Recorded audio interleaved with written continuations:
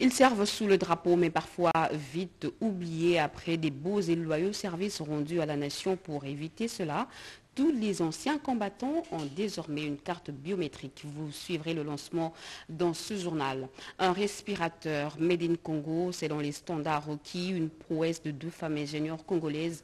Il a été présenté au public après certification des scientifiques. Deux métropolites seront intronisés, l'un à Kinshasa et l'autre à Kananga. Le pape d'Alexandrie et de toute l'Afrique est arrivé à Kinshasa en visite pastorale. Il procédera à cette intronisation. Voilà pour les titres. Mesdames et messieurs, bonsoir et très heureuse de vous retrouver à travers cette grande édition d'information sur la chaîne nationale. Le Premier ministre Jean-Michel Samaloukonde et quelques membres du gouvernement ont discuté aujourd'hui avec une délégation de la MONUSCO conduite par Mme Bintou Keita sur la table des discussions la situation sécuritaire en RDC. Retrait progressif et échelonné de la mission de l'Organisation des Nations Unies pour la stabilisation en République démocratique du Congo, la séance de travail gouvernement MONUSCO qu'a présidé le Premier ministre Jean-Michel Samalokonde Kienge a tourné autour de la résolution 2612 du Conseil de sécurité de l'ONU et de la feuille de route de la transition pour ces retraits. Cette première rencontre depuis l'adoption de la résolution du Conseil de sécurité des Nations Unies sur le nouveau mandat de la MONUSCO le 15 décembre 2021 a examiné comment mettre en œuvre les 18 jalons contenus dans la feuille de route de la transition reconnue par le Conseil de sécurité. Le Conseil de sécurité a intégré cette feuille de route dans le, le mandat et nous dit tous les trois mois, vous devrez revenir au Conseil euh, à l'occasion du rapport du secrétaire général sur la situation euh, au niveau politique, sécuritaire, humanitaire, euh, droits de l'homme dans, le, dans le pays, en indiquant comment, conjointement, ensemble, vous êtes en train de mettre en œuvre les 18 jalons qui sont contenus dans cette feuille de route de transition, parce que nous voulons voir évoluer euh, les situations sur lesquelles le plan de transition insiste. Euh, aujourd'hui, nous étions là avec le Premier ministre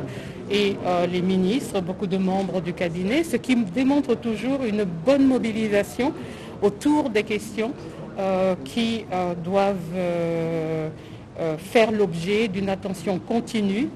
Pour Patrick Mouyaya, ministre des Médias et porte-parole du gouvernement, le gouvernement travaille de manière étroite avec la MONUSCO sur plusieurs objectifs. Il ne s'agit pas seulement du plan de transition. La réunion d'aujourd'hui s'inscrit donc dans le cadre euh, de ce travail permanent, mais spécifiquement par rapport à, après la résolution 2612, euh, il y avait ces besoins de discuter suivant les 18 jalons qui ont été posés dans la feuille de route et de préparer les prochaines réunions qui auront pour objectif des données du contenu au rapport que la représentante du secrétaire général fera après les trois premiers mois euh, depuis la résolution de l'accord. Voilà un peu, c'était euh, euh, la première d'une série de réunions qui aboutira à la préparation de ce rapport.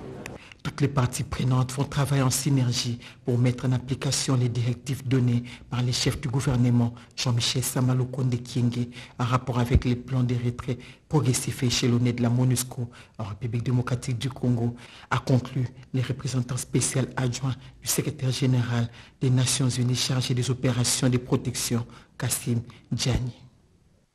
Vous le savez, le gouvernement congolais a trouvé un terrain d'entente avec le groupe Ventura Development.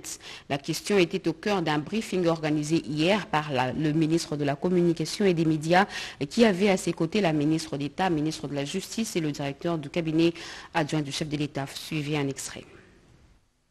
Mesdames et messieurs de la presse, en date du 24 février dernier, la signature d'un protocole d'accord, respectivement par la ministre d'État, ministre de la Justice, euh, qui au sein du gouvernement s'occupe justement des différents contentieux avec euh, les représentants du groupe Ventura.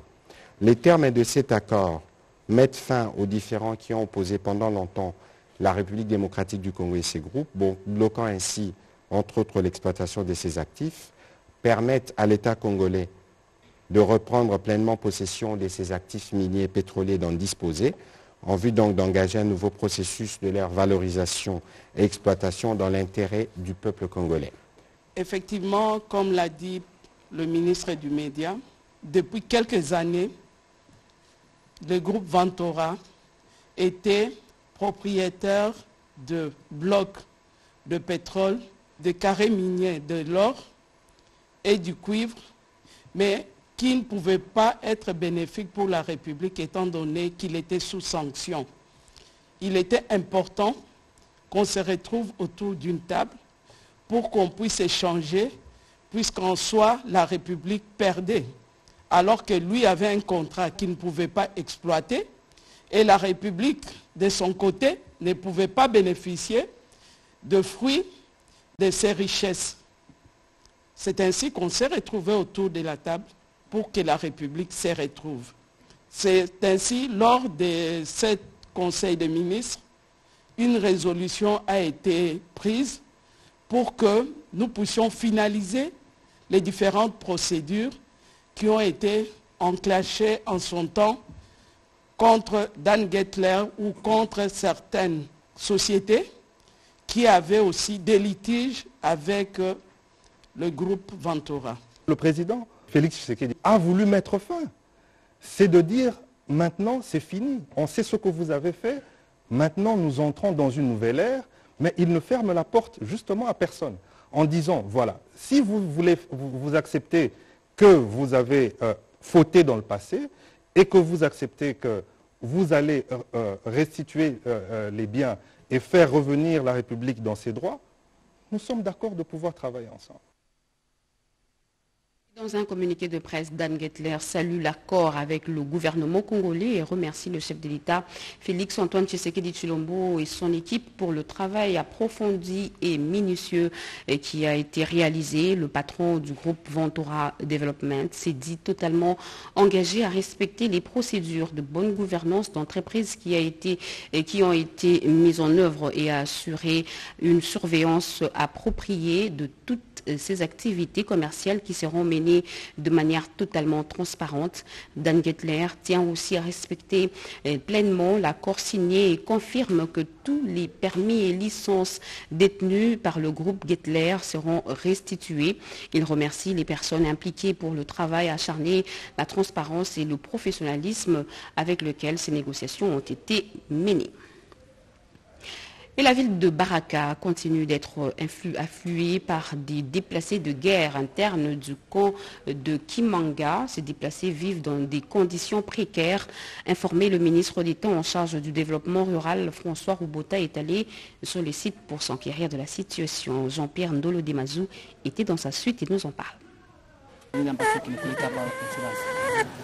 Le cri de cet enfant décrit la situation lamentable que vivent les déplacés de guerre internes de Boboko Boko et de Mangungi. Les parents de cet orphelin ont été fauchés par des rebelles qui, heureusement, lui ont laissé la vie sauve. Ce camp de village Kimanga compte environ 800 ménages privés du minimum vital. C'est la toute première fois qu'une délégation venue de Kinshasa leur rend visite. Ces déplacés de guerre interne manquent de tout, pas d'école pour les enfants, pas d'hôpitaux, la malnutrition bat son plein. Les enfants sont à la merci des maladies d'origine hydrique. Aucune assistance. La mort les attend tous les jours au coin de la rue. Le ministre d'État François Roubouta a exprimé sa douleur face à cette situation. Nous sommes en train de lancer un appel à la paix tous ceux qui euh, détiennent des armes, ceux qui sont en train de se livrer à des guerres, des groupes armés, il est temps pour qu'ils arrêtent. On a trop souffert, il y a eu beaucoup de morts, voilà qu'il y a beaucoup de blessés. Vous venez de constater avec moi euh, l'état des abris, qui sont des abris de fortune. C'est vraiment déplorable de nous retrouver dans de telles situations du fait des gens qui se livrent des guerres sans objectif. En père de famille, François Roubota n'est pas venu les mains vides. Il leur a apporté quelques sacs de maïs et une aide financière, une goutte d'eau dans la mare pour ses compatriotes qui attendent d'être soutenus par le gouvernement de la République. Le rôle d'un parlementaire expliqué en détail aux élèves de Elizabeth International Bilingue School lors d'une visite à l'Assemblée nationale. Ces écoliers ont été reçus par le speaker de la Chambre basse du Parlement, Sylvain Moembo. Les échanges étaient francs jeudi 3 mars 2022 entre le speaker de la Chambre basse du Parlement et des élèves de l'école Elizabeth International Bilingue School. Christophe Mbosoko Diapwanga a éclairé ses invités sur des questions non seulement liées à la production législative, mais aussi au contrôle parlementaire. Quel est le rôle d'un Parlement? Ces jeunes élèves le savent désormais. Dans cette chambre, qu'on appelle Assemblée nationale, il y a des députés de toutes compétences. Maintenant, n'oublie jamais à chaque instant que le Congo de demain vous attend.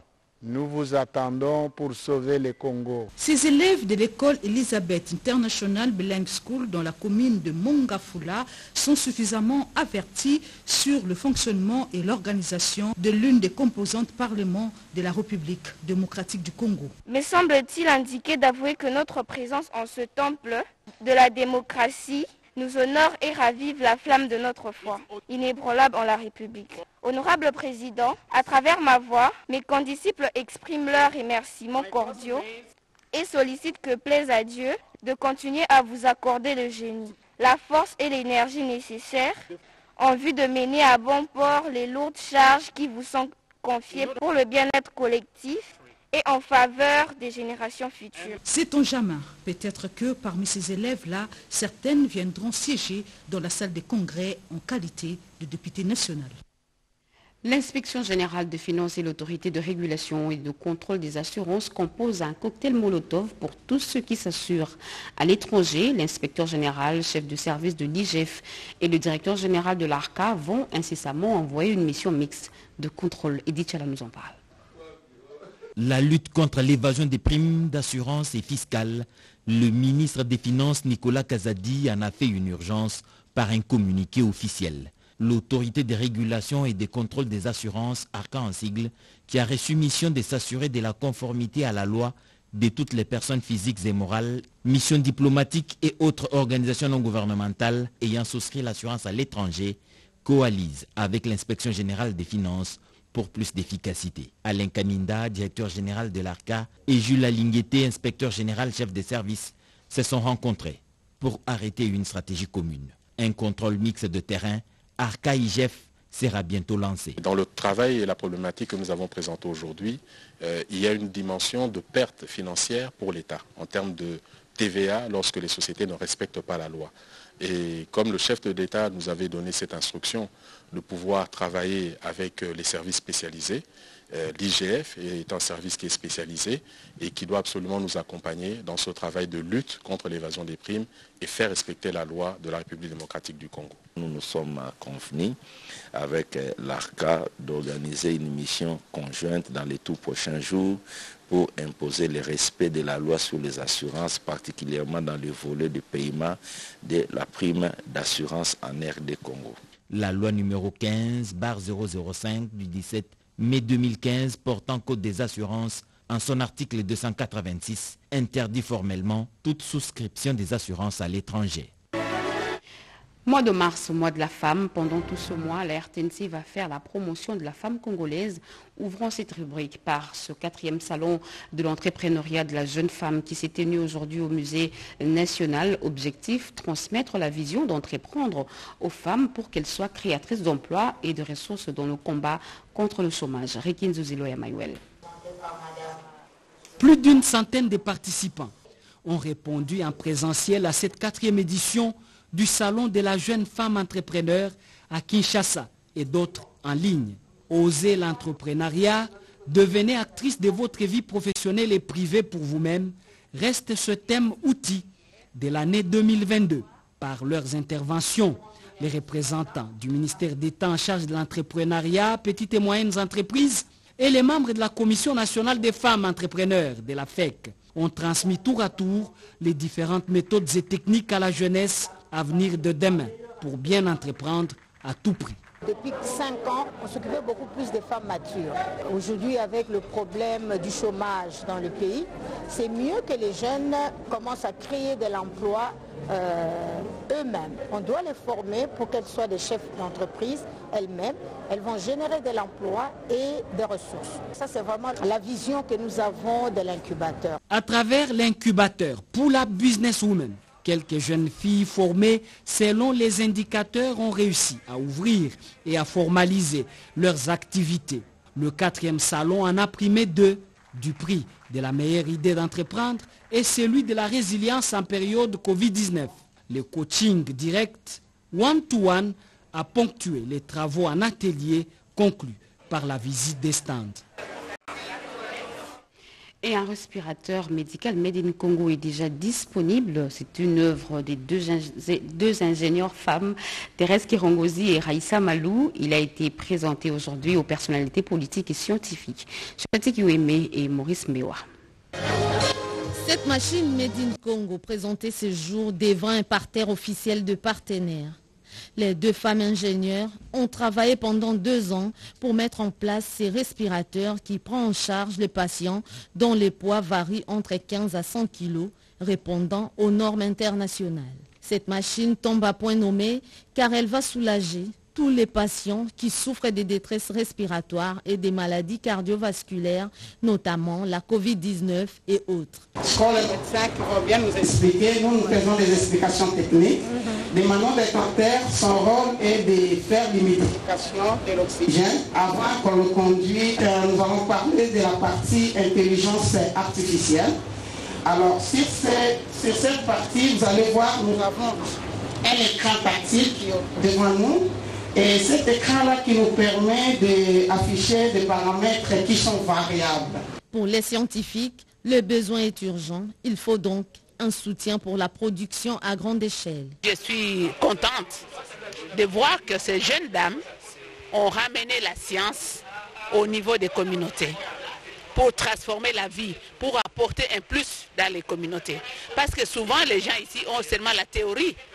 On voit les théories, les gens bloquent, ils, maintiennent des, théories dans la tête, mais ils n'arrivent pas à transformer cette intelligence dans la réalité de nos communautés. Mais aujourd'hui, on voit un outil qui aide, qui va aider le secteur médical. Et nous voulons que ça soit multiplié et que ça puisse aller dans toutes les provinces, dans les territoires, dans nos villages, pour que les hôpitaux rendent service. L'ambassadeur du Royaume de Belgique en RDC, qui a promis son soutien aux deux ingénieurs, a rehaussé de sa présence à cette cérémonie à laquelle ont pris part les représentants de la MONUSCO, les femmes ingénieures, ainsi que les autorités politico-administratives. Et puis cette alerte lancée par la Fondation Grâce à ma mère que dirige Madame Julie Sulé, le cancer du col utérin est plus grave et continue à tuer des milliers de femmes à travers le monde et ce en silence au cours d'une conférence de presse. Euh, au cours d'une conférence de sensibilisation, cette fondation a démontré le danger de cette maladie. Diane Balakambombo, reportage. La campagne de sensibilisation sur les cancers devient le champ de bataille de plusieurs organismes pour éviter le pire. Les femmes sont la cible privilégiée car exposées à plusieurs formes du cancer dont celui du col utérin pour la fondation GRAM, grâce à ma mère qui fait de l'autonomisation réaliste et performante de la femme congolaise son cheval de bataille, a organisé des séances de sensibilisation dans les églises ou encore sur les réseaux sociaux avant de procéder ensuite au dépistage gratuit du cancer de col utérin, une anomalie qui tourmente les femmes âgées de 25 ans jusqu'à 65 ans. Au finish, 200 femmes seront diagnostiquées ici au centre hospitalier Mokole du 1er au 20 mars 2022 une manière programme d'apporter sa pierre à l'édifice dans la lutte contre cette maladie. Beaucoup de femmes en meurent parce que seulement on le découvre quand c'est déjà à des stades très avancés que cette maladie existe. Mais le seul moyen de le savoir, c'est de passer par les dépistages parce qu'il s'agit d'une maladie qui ne se voit pas directement à l'œil nu. Le cancer du col est dangereux. C'est parmi les cancers qui tuent. Voilà pourquoi nombreuses participantes sont venues répondre à cette invitation pour s'informer afin de s'y prendre tôt et éviter l'irréparable. J'étais un peu dans l'ignorance parce que comme le docteur l'a dit, trop de rapports sexuels cause de, des cancers des utérus. Notons que cette pathologie est due à la multiplication désordonnée des cellules dans un organe quelconque avec comme symptômes les saignements anormaux, les douleurs au bas-ventre. Après l'étape de dépistage, la Fondation Grâce à ma mère va organiser une soirée de gala afin de lever les fonds pour la prise en charge du traitement de malades. Le dépistage reste donc un moyen par excellence pour la prévention du cancer.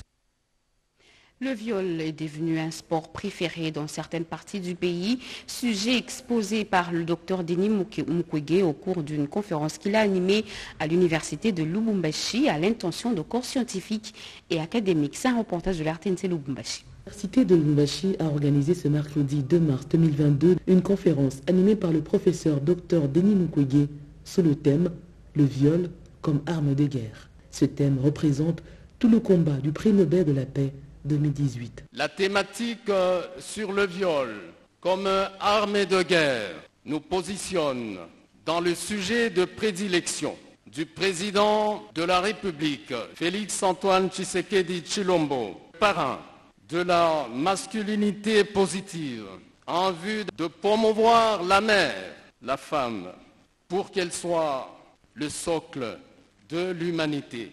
Le recteur de l'UNILO a peu avant de ponctuer son mot remis des présents à ses hôtes. Sous un temps plein d'émotions, le docteur Mukwege, qui a dit se sentir enfin chez soi, a rappelé que le problème des viols, un fléau qu'il faut éradiquer à tout prix. Le conflit en République démocratique du Congo, nous ne devons pas oublier que c'est le conflit le plus meurtrier depuis la Seconde Guerre mondiale.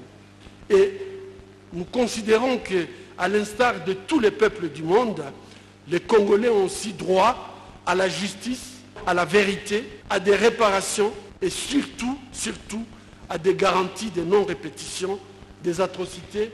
L'homme doit apprendre de s'engager dans la masculinité positive, à vivre avec la femme comme son égale. Membres du gouvernement, corps consulaire ont été présents à ce grand rendez-vous de l'homme qui a fait de la dignité des femmes un combat. Tout à fait autre chose à présent. Les anciens combattants et les retraités militaires possèdent désormais leur carte biométrique, une manière pour l'armée de constituer un fichier unique de ces vaillants soldats ayant servi sous le drapeau. Le lancement officiel de l'opération de recensement et de la remise de cartes a été effectué par la vice-ministre Séraphine Kiloubou, Georges Frédéric Ndipou.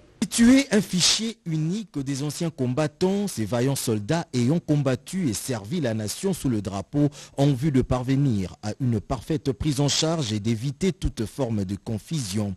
C'est l'objectif de l'opération de recensement des anciens combattants lancée officiellement par la vice-ministre de la Défense nationale et des anciens combattants, Séraphine Kilou Bokutuna, au nom du patron de l'outil de défense, le docteur Gilbert Kabanda Kourenga, en mission. Cette opération de recensement était couplée à la remise des cartes biométriques aux anciens combattants et aux retraités militaires. Le président de la République, Félix Antoine Tshisekedi Chilombo, qui a placé son mandat sous le, signe du social et qui ne cesse d'encourager l'amélioration des conditions de vie des Congolais, dont les personnels militaires inactifs à vous tous qui venez pour se faire recenser. Que l'intégrité et l'honnêteté vous caractérisent, afin de nous permettre d'améliorer vos conditions de vie. Pour ce, je déclare le lancement de l'opération de recensement des actions combattants et des retraités. Cette opération se poursuivra sur toute l'étendue du territoire national. Et toujours dans la défense nationale, le ministre euh, Gilbert Kabanda est en mission officielle dans le Grand Katanga. Euh, depuis le mardi dernier, à Lumbashi, le patron de la défense a visité l'école de génie militaire et la deuxième zone de défense. C'est aujourd'hui que le ministre euh, est arrivé dans la province de Lualaba. Nous y reviendrons avec force détail dans nos prochaines éditions.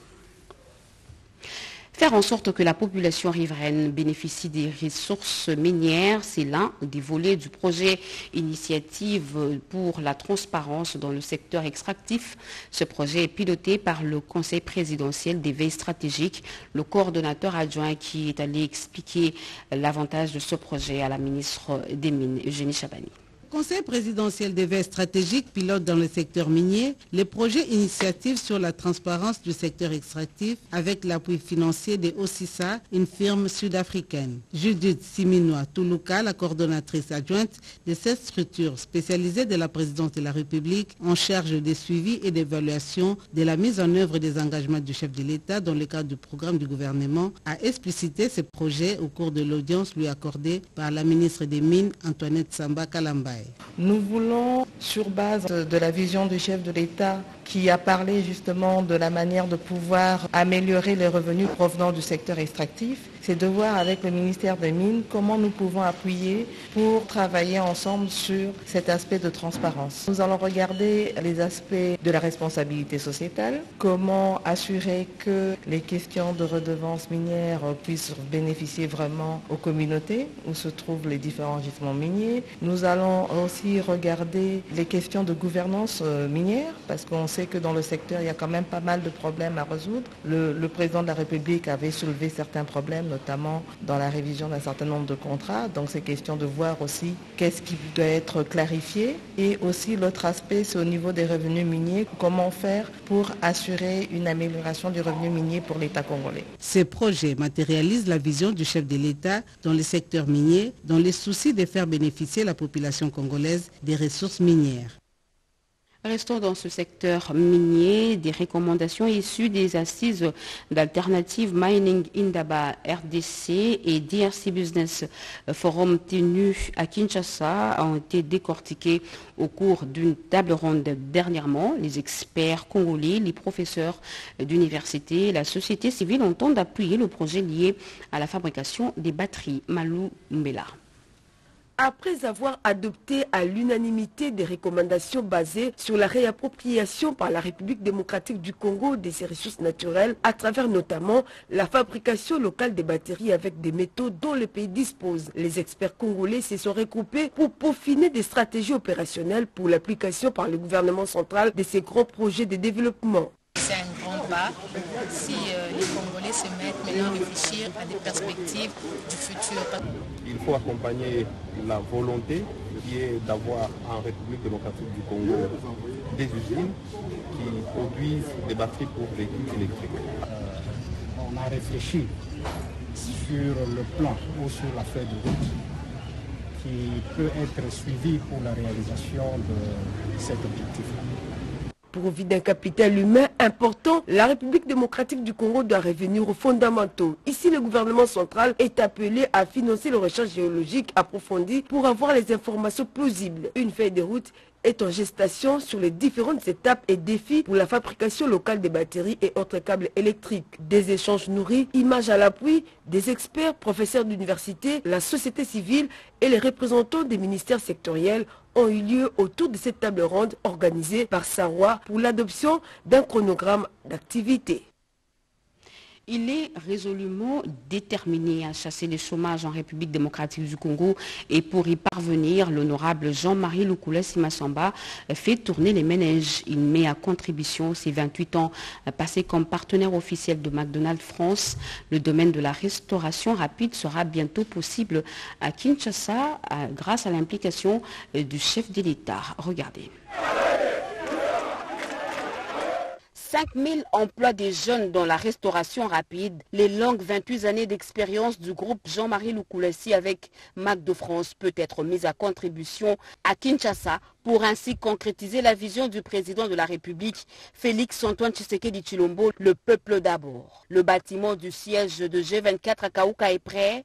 Les locaux sont disponibles pour accueillir l'organisation des formations spécifiques de ce nouveau métier de restauration rapide en République démocratique du Congo. Pour être au point, l'honorable Jean-Marie Lukoulessi Massamba, partenaire officiel de Mac de France en mission officielle au pays d'Emmanuel Macron, a visité les installations de McDo. À Kinshasa, les jeunes vont apprendre les ABC de la restauration rapide, basée notamment sur la qualité, le service et la propreté. Et ils seront formés comme les équipiers polyvalents, les swings et les managers de restauration. Un autre projet, toujours au bénéfice des jeunes, c'est la formation des inspecteurs de travail dans ce nouveau secteur de restauration. Des contacts sont déjà pris avec le ministre de l'Emploi, Travail et Prévoyance sociale. Un travail laborieux et multisectoriel qui a conduit l'honorable Jean-Marie Lukula Simasomba à Paris en France pour préparer l'installation en République démocratique du Congo de cette filière très employeuse de la main-d'œuvre. Pour éviter les balbutiements du début, Luxon Mobimba, superviseur depuis 20 ans dans la restauration rapide, va prendre des choses en main. Théodore II, pape d'Alexandrie et de toute l'Afrique, chef spirituel de l'église orthodoxe, est arrivé à Kinshasa cet avant-midi. Un accueil digne de son rang lui a été réservé par les fidèles et la communauté hellénique de Kinshasa, Edith Chala, Siande Imata. Le pape de l'église orthodoxe et patriarche d'Alexandrie et de toute l'Afrique, Théodore II, est arrivé à Kinshasa pour une mission pastorale. À sa descente du régulier d'Ethiopian Airlines, il a été accueilli par l'archevêque orthodoxe de Kinshasa, les prêtres de toutes les paroisses et du président de la communauté hellénique de Kinshasa, Gerasimos Dounis. Une visite qui durera près de 10 jours en République démocratique du Congo et qui prévoit l'intronisation des deux métropolites entendés évêques, celui de Kinshasa et de toute l'Afrique centrale Théodorose, en remplacement de l'archevêque Niképhéros, décédé dernièrement, et celui du Grand Kassai, qui sera ordonné. Premier évêque noir de Kananga, Ilunga, sa béatitude, célébrera de divines liturgies patriarcales à Saint-Nicolas de la communauté hellénique de Kinshasa et Saint-André de Kananga. Pour son arrivée à Kinshasa, les fidèles s'étaient mobilisés pour dire la bienvenue à cette grande personnalité ecclésiale.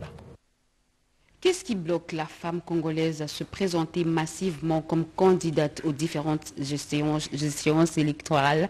Eh bien, les experts de la CENI, Jean, sont en réunion préparatoire pour y réfléchir. Et. En prélude de la Journée internationale des droits des femmes, célébrée le 8 mars de chaque année, le président de la Commission électorale nationale indépendante, Denis Kadimakazadi, a procédé ce vendredi 4 mars au lancement de la réunion préparatoire du cadre de concertation CENI Association féminine. Nous sommes persuadés que la question de l'inclusion, particulièrement de la femme, c'est une question de droits de l'homme c'est une question de démocratie. Si nous ne le faisons pas, nous aurons violé un droit fondamental. Pour Denis Kadima Kazadi, la CENI reste ouverte à toutes les idées dans le cadre de la participation en vue de permettre à la femme de franchir ses limites. Auparavant, Madame Joséphine Ngalula, membre de la plénière à la CENI, a rappelé que le document quinquennal de la CENI produit lors de la télé de Bibois du 18 au 20 janvier 2022 prend en charge la question de l'inclusion et genre. De son côté, le représentant pays de la Fondation internationale pour les systèmes électoraux AFS, Sila Muntaga, invite les femmes à plus d'implication dans le processus électoral. Pour sa part, le deuxième vice-président de la CENI a remercié les participants. Comme nous sommes au mois de mars, mois dédié à la femme par les Nations Unies, je ne puis me soustraire à l'obligation de rendre hommage à la femme congolaise, ici valablement représentée par les leaders que vous êtes, cette réunion préparatoire de cadre de concertation CENI Association féminine a accordé la parole aux structures et organisations féminines. L'ISIPA applique déjà le nouveau programme éducatif LMD, licence, master et doctorat. Le personnel de cet établissement d'institut supérieur est en formation de renforcement des capacités pour une bonne application de ce système. Francine Atomissi et Junior Luyé. Cette formation s'inscrit dans le cadre éducatif. Selon Casimir Ilunga, DG de l'ISIPA Kinshasa, participant à ce type de renforcement de capacités, depuis la rentrée académique édition 2021-2022, l'enseignement supérieur et universitaire évolue dans le système LMD, licence, master, doctorat. Car l'ancien programme de graduat licence master est en voie de disparition. Il est donc impérieux pour la République démocratique du Congo de maîtriser les nouveaux systèmes de l'enseignement supérieur et universitaire en cours au monde. C'est la raison pour laquelle le ministère des tutelles a dépêché à l'ISIPA un spécialiste ayant travaillé sur cette nouvelle donne de la formation universitaire. Et il était très important pour nous euh, qu'on puisse le maîtriser. C'est ainsi que nous avons appelé quelqu'un qui a travaillé au niveau du ministère, le professeur euh, Yenga Mahombe Arthur, qui a travaillé au niveau des États généraux et euh, qui était point focal au niveau du ministère pour qu'il vienne nous donner les détails, qu'il vienne nous expliquer cela en détail. À l'ISIPA, la présidente directrice générale, Rufine Louyeye Ekanda, a toujours encouragé ce genre de formation du personnel pour le besoin de renforcement de leurs capacités dans le secteur scientifique opté par cet établissement universitaire privé. Après deux jours de formation, les participants auront droit à un brevet. C'est une obligation nationale pour la RDC qui bascule déjà dans le système LMD de façon progressive. Mais toutefois, l'ISIPA a démarré avec son système LMD dès la première année de sa mise en place pour ne pas rester en marge du nouveau système mondial de l'enseignement universitaire. En politique, les journées scientifiques à l'intention des militants et cadres de l'UDPS se poursuivent. Au cours de la deuxième journée, le corps de l'élite scientifique de l'UDPS a édifié l'assistance sur les avantages du projet de développement de 145 territoires du chef de l'État, Alain Bikaï. Le développement des 145 territoires du chef de l'État, Félix Antoine Tshisekedi Chilombo, était passé au crible par les corps de l'élite scientifique de l'UDPS. Pour mieux cerner ces projets à impact visible, ces corps de tête bien faits du parti présidentiel a fait appel à l'un des membres du comité de pilotage de ces projets, Benjamin Bola, conseiller principal au Collège Santé et Bien-être. Selon lui, cette vision du chef de l'État va aider le pays à décoller à la base, c'est-à-dire ces projets d'Otera, ces entités administratives des infrastructures des bases de qualité. Ces projets viennent mettre fin au manque criant des infrastructures sanitaires dans ces territoires, a-t-il conclu. Très édifié par ses proches collaborateurs de Félix Antoine Tshisekedi, le coordonnateur national des corps de l'élite de l'IDPS, le docteur Soft Mukuna, a appelé les Congolais à s'approprier de ces projets. C'est la mission en fait qui nous a été demandée par la hiérarchie du parti, d'aller former la base. Nous devons écouter les gens qui sont dans ces comités, qui nous donnent l'idée, nous donnent aussi l'idée du chef de l'État, et nous, nous allons descendre dans les différentes structures du parti pour sensibiliser la population afin qu'ils puissent s'approprier de tous les différents projets du chef de l'État et ainsi nous allons atteindre les vrais et bons développements. Ces journées scientifiques offrent un cadre de partage et d'édification à l'intelligence congolaise. L'honorable Jean-Marie Loukoulassi est déterminé à chasser le chômage en République démocratique du Congo et pour y parvenir, il fait tourner les ménages. Il met à contribution ses 28 ans passés comme partenaire officiel de McDonald's France. Le domaine de la restauration rapide sera bientôt possible à Kinshasa grâce à l'implication du chef de l'État Félix Antoine Tshisekedi et Chilombo. Juste après ce journal, vous suivrez une page magazine. Découvrons cette dépêche qui vient de nous parvenir avant de terminer ce journal. Décédé à Bruxelles le 25 janvier dernier, l'ancien gouverneur de la ville de Kinshasa, le patriarche Fundu Kotalevis, a été inhumé en Belgique en mémoire des ministres disparus, sa famille ainsi que la grande communauté quinoise regroupée au sein de Banakin organise une messe d'action de grâce ce samedi 5 mars 2022 à 15h en la cathédrale Notre-Dame du Congo pour nous y reviendrons dans nos prochaines éditions.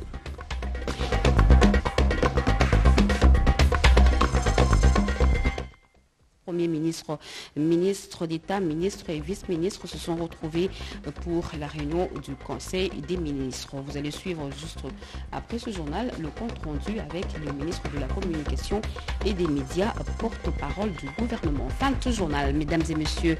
Merci à vous de l'avoir suivi. Merci à vous qui nous suivez partout ailleurs sur satellite. Vous êtes sur la RTNC. L'actualité continue sur nos antennes. Retrouvez à 23h Eurydice Kitutu Moudiri Zinkionda.